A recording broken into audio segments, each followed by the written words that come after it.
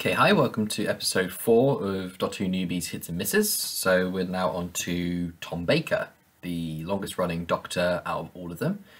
And it was a little bit tough to try and decide which episodes to recommend and not recommend, but thankfully there's quite a wide scope in one way, so it did kind of help a little bit with um, providing plenty of options for both sides of it, but equally made it difficult to narrow it down. But I got there, so um, we'll just go straight into it. So, three episodes that I would not advise watching um, if you want to get into the series. So, we'll go into it. First one is The Mask of Mandragora. Um, this is during the sort of era which did have Sarah Jane Smith, but again, this episode just it had something that it just didn't really feel as though the story was complete when they made the episode, uh, for me anyway.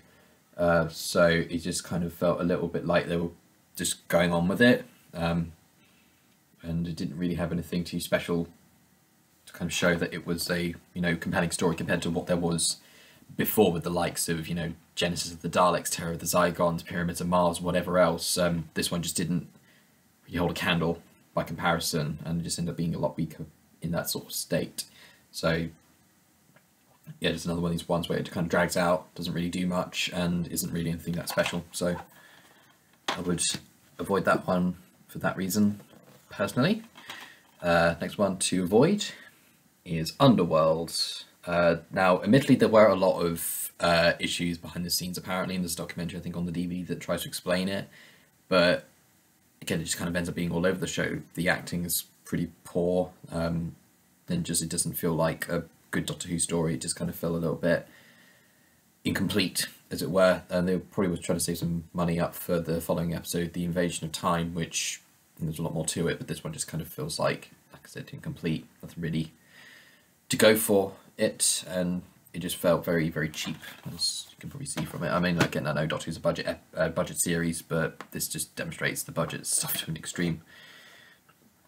And then finally, for the ones to avoid, Leisure Hive. First one of John Nathan Turner's uh, run as the producer, and again, it just felt very, very dull. Um, the Foamasi look really kind of silly. Those big bug, um, silly like chameleon monster things. Uh, it just it didn't really feel like it was really going for anything, and then just the overall tone of it. It was a big change compared to what they had in the seventies, and it just was like I said, just boring more than anything else. And you don't want to be bored when you watch a Doctor Who story. You want to be fixed on it.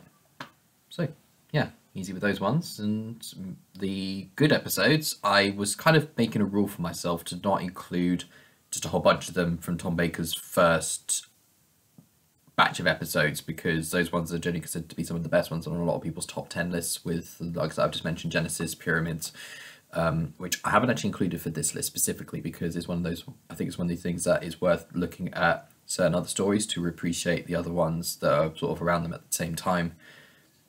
More so, and that's why I've chosen for that kind of era, The Seeds of Doom.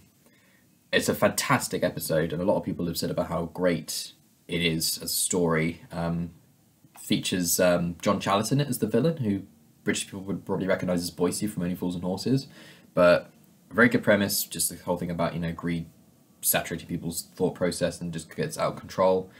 Um, very dramatic cliffhangers and stuff. Just you feel gripped to the story all the way through. Are they going to make it through? Is everything going to be okay? Everything like that. So yeah, um, and I deliberately chose just the one from that run of episodes of Tom Baker's, and the rest of the ones I got for recommendations are from past that era. Um, next one for that is the Deadly Assassin the only original story to not have a companion, and it does a really good job.